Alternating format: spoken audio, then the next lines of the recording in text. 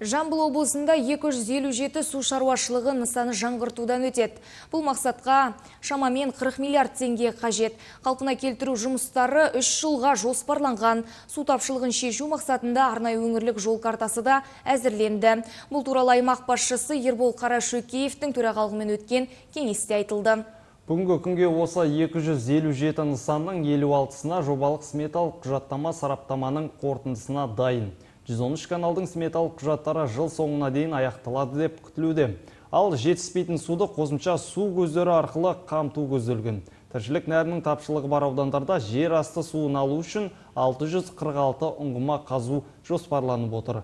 Бүгінге 103 ұңғыма қазылып, 3-8 мың гектар алқапқа су жеткізілді. Сондай-ақ жергілікті бюджет есебінен сыйымдылығы 5-3 миллион текше метр жаңа 10 су қоймасын салу көзделген болатын қазір үш су қойманың құрылысы басталды. Облыс әкімі су тапшылығына қатысты соңғы жылдардағы жағдайды ескере отырып су үнемдеу технологияларының тиімділігін атап өтіп жаңбырлатып және тамшылатып суару алқаптардың көлемін арттыруды ұңғыма қазу шараларында барынша қолға алу керектігін тапсырды. Сондай ақ ауыл шаруашылығы мақсатында жер асты суларын пайдалану бойынша рұқсатнама мерзімін 25 жылдан 50 жылға дейін арттыру жөнінде жан жақты мүмкіндіктерді қарастыруды тапсырды.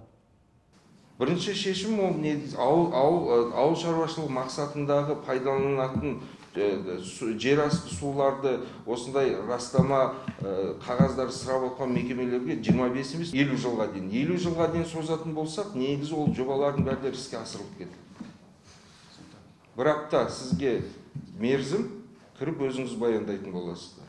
Расында осындай проблема туындап проблема бар болатын болса мынау су ресурстары ирригация министрлігіне нұржан молдиярұлына ұсыныспен кірейік. Жаңағы ауыз су болса жарайды 25 жыл мерзімі қалсын. Ауыл шаруашылығы саласында жаңағы өсімдік шаруашылығы басқа да мақсаттарға пайдаланатын судың жаңағы растау қағазының мерзімін елу жылға дейін созып берейік.